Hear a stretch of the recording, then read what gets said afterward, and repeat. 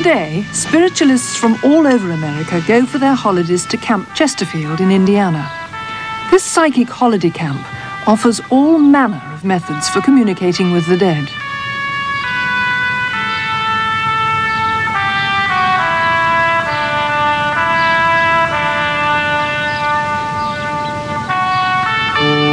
In the museum and art gallery are a range of treasures said to come from beyond the grave, including spirit paintings depicting life after death. They claim these gems and arrowheads are gifts from the spirits. There's everything here that a spiritualist holidaymaker could wish for. Camp leader Louise Irvine. Spiritualists uh, expect to have family gatherings, whether they are in the physical body or out of the physical body. They still come to gather together in this beautiful holiday atmosphere. And they consider this to be a family reunion, just the same as other people throughout the world have a reunion in a park or at the lake. Uh, somewhere where all all of the family gathers together from great distances and so to them uh, they do this here their family reunion in the body and out many of them describe the tremendous burdens and weights that they feel as they have come here just simply being released and just leaving them like a vaporous cloud uh, they find that they are in a place like none other that they have ever been in before upon this earth. It is, it's hallowed ground, it's holy ground. The camp offers a strange mixture Christian guidance with Red Indian spirit guides.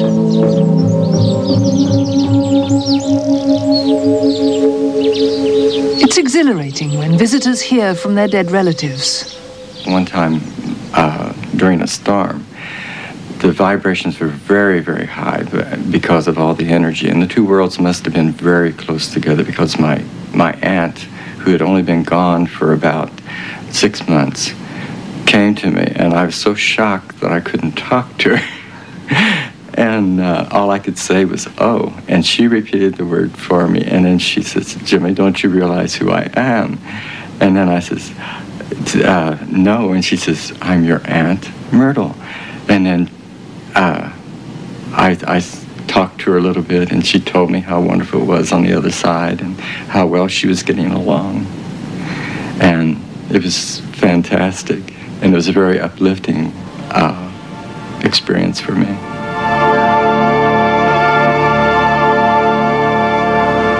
This Brazilian psychologist claims that when he goes into trance, he's in direct contact with the spirits of great painters of the past. And he turns out old masters in a matter of minutes. He says that Van Gogh works through his fingers.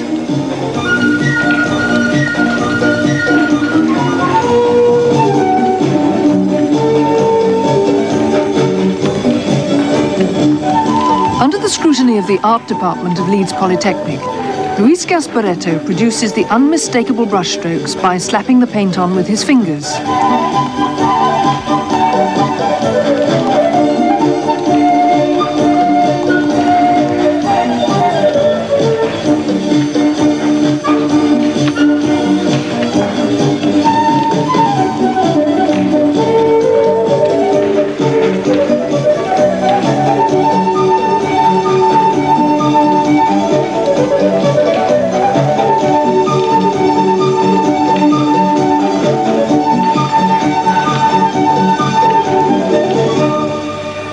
When the mood of the music changes, so does the style of his paintings.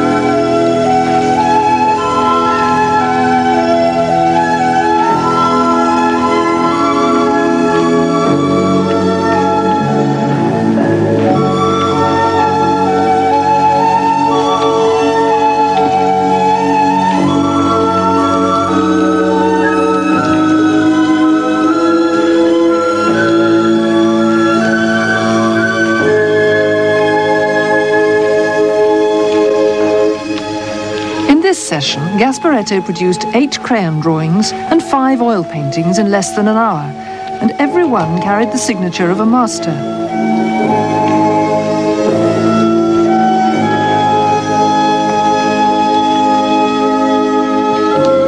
But do they convince the experts? I thought it's incredible. Um, absolutely wonderful. There's a very superficial resemblance in some of the work to the styles of some of the artists. Um, but in the end, personally, I have to judge the whole business on how good drawing and painting quality is in the end, and it's very poor. Um, if those artists had drawn and painted in that fashion, uh, there's no way their work would be hanging in the galleries of the world.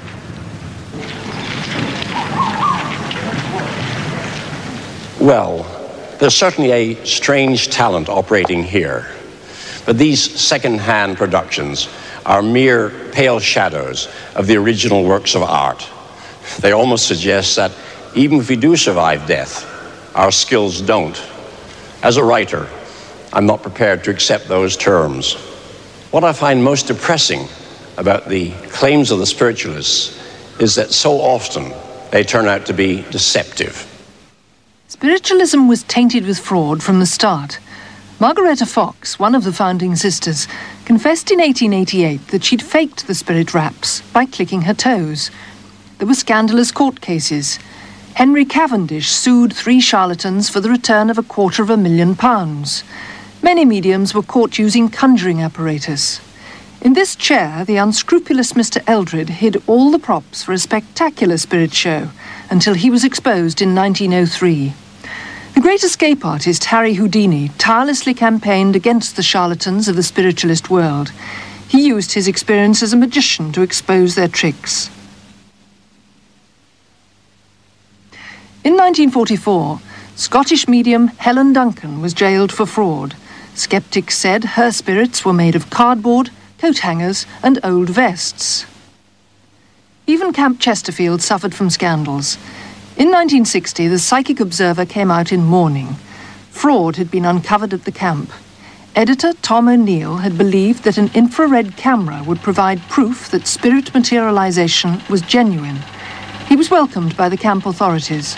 But to everyone's horror, the film showed all too clearly that the spirits were far from dead. The mysterious forms were actually well known camp staff swathed in chiffon.